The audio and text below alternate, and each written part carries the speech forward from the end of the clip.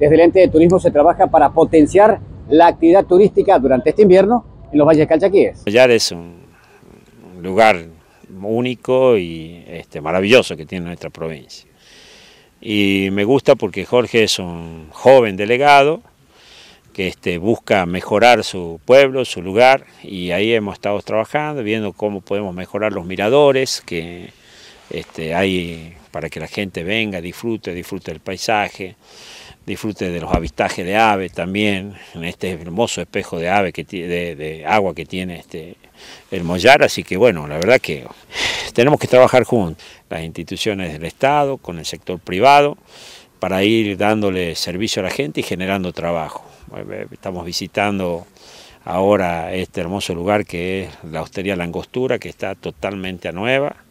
que este, hablando con el encargado ya hay mucha demanda, es decir, que para que venga gente, y bueno, y cuando vienen los turistas, tanto que sean locales de Tucumán, de la región o de fuera, que le brindemos un buen servicio. Creo que trabajando juntos, donde nosotros podamos aportar los materiales para la señalética y, este, que Jorge, el delegado, puede poner su mano de obra, creo que es el complemento ideal para ir avanzando y mejorando este hermoso lugar que vuelvo a reiterar.